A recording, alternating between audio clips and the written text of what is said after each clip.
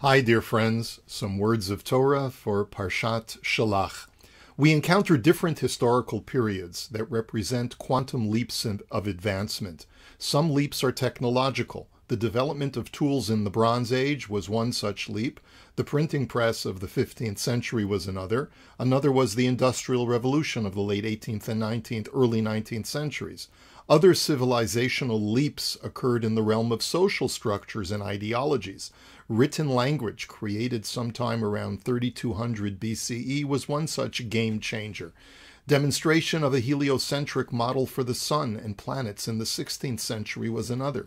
For the Jewish people, the most pivotal era of ideological quantum advancement and change was probably during our 40 year sojourn in the desert.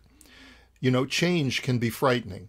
Man tends to be more at ease when surrounded by things and experiences that are familiar to him. Changes to those surroundings, even when the change is positive, can be disorienting and threatening. Gutenberg's printing press was attacked by monks in the 15th century because they believed that mass production of the Bible by machine would A, put monks out of work and make them lazy, and B, put the Bible in the hands of common folk who weren't sophisticated enough to interpret the Bible properly. In retrospect, we realize just how absurd these criticisms were. But fear of change has always been the driving force behind resisting advancement, and it continues to this day with what is called techno panic. The Jewish people also harbored this great fear of change as they were undergoing so many changes all at once. Not only had they been violently ripped from their homes in Egypt, their whole societal system was evolving from a slave class to independent landowners. While an outsider would see how glorious and positive this change was, we can only imagine the great trepidation the Jews experienced when considering all of these changes occurring in such a short span of time. This helps us at least sympathize with their anxious response when hearing the 10 spies' negative report.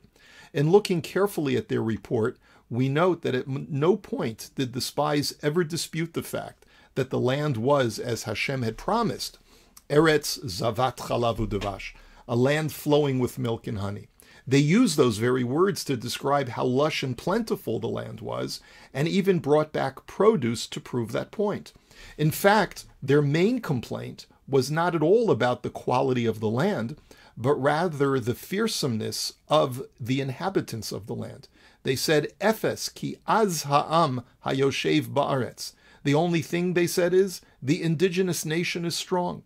Their cities are well fortified, and we saw members of the fierce Anak family there.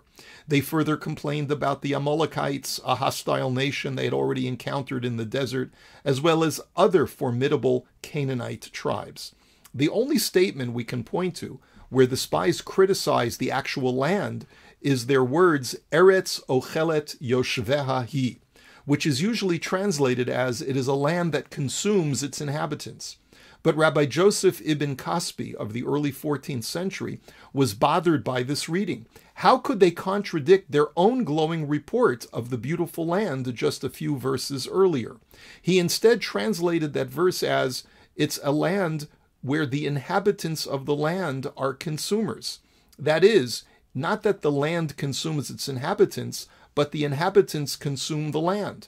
Even though the land produces a tremendous amount of bounty, the inhabitants are of such great size and strength that they have ravenous appetites and consume everything that the land produces. With this translation, the spies never disparage the land itself. But this reeling, reading is quite revealing because it not only was an intimidating testament of just how powerful the indigenous tribes of Israel were, it was also a suggestion that by entering the land of Israel, we too, Bnei Israel, even if we do succeed in our conquest, might fall prey to the allure of the land just as its current inhabitants have.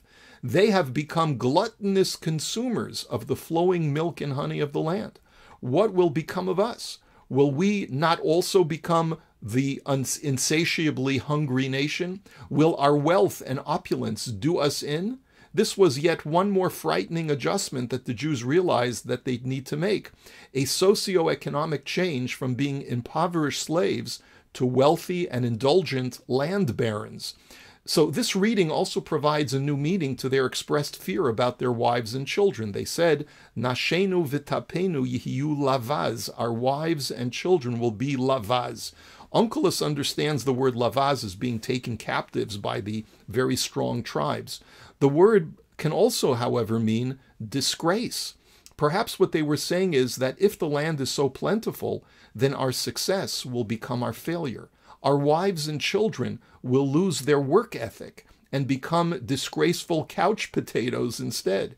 We should return to Egypt, they said, so that we can instill within our children the ethic of an honest day's hard work. In this sense, Hashem's decree that they would have to wander in the desert for 40 years wasn't so much a punishment, but a necessary waiting period of maturation and evolution. Seeing how the people couldn't handle such a sudden shock to their infrastructures, Hashem decreed that entry into the land would have to take an entire generation of adjustment before the next generation would be ready to become these wealthy landowners. But after Hashem's decree, the Torah details many mitzvot having to do with the korbanot, the sacrifices, and the laws of tithing. This makes sense if the fear of the Jews was that their newfound wealth would corrupt them. Hashem's response to this legitimate concern was that while it's true that wealth can corrupt, it can also be used for very positive things, like bringing gifts from one's blessings to Hashem and to the Kohanim. The Torah also repeats the laws of the sinner's sacrifice to remind the people that while wealth can induce sin, it's also possible to atone for sin by using that very wealth. This reading may also explain why our Parsha concludes with the story of the Mikoshesh Eitzim, the person who violated Shabbos by being Mikoshesh, by gathering sticks. Now, why did he do this, especially in light of our sage's teaching that he was forewarned that his act was a violation of the Torah? Many of our sages understand that he acted l'shem shamayim, with virtuous intentions. He wanted Bnei Yisrael to witness that although they were not entering the promised land, the mitzvot were still binding upon them. He martyred himself for that cause.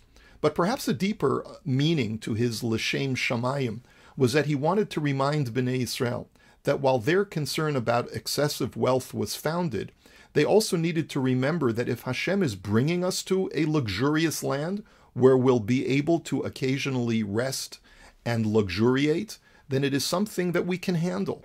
Look how he commanded us to observe Shabbos a day where we must desist from all work and resist the virtuous impulse for productivity. Note that the only other time that the verb likoshesh is used in the Torah is back in Exodus chapter 5, where the Jewish slaves in Egypt were commanded to gather straw to make bricks for their taskmasters. This man stick gathering was to remind the Jews that hard work should not be romanticized to the point where we forget the suffering we experienced when hard work was taken to the extreme. We've recently undergone a societal paradigm shift because of the pandemic. Understandably, this has brought with it many changes in the way people live their lives and has also brought an accompanying anxiety and fear to many within the civilized world. This anxiety has manifested itself in so many different ways, and it's been important for the grown ups in the room to try and restore a sense of calm and normalcy. Change also occurs within the Jewish community. I'm sure you may have noticed various small changes that have occurred and will continue to occur within our own beautiful Kihila, both within our Beit HaKnesset and within the larger Jewish community. So we should all try to respond to those changes with positivity and optimism. If you question the change, you should consider is my criticism founded on a genuine grievance that the change is a bad one? Or am I romanticizing a past that was beautiful when it existed, but that cannot or will not be any longer? My dear friends, may we learn to welcome change as part of God's unfolding plan of ultimate redemption. May we see it bimhera biyamenu. Amen. Here's wishing you a beautiful Shabbos. Shabbat Shalom.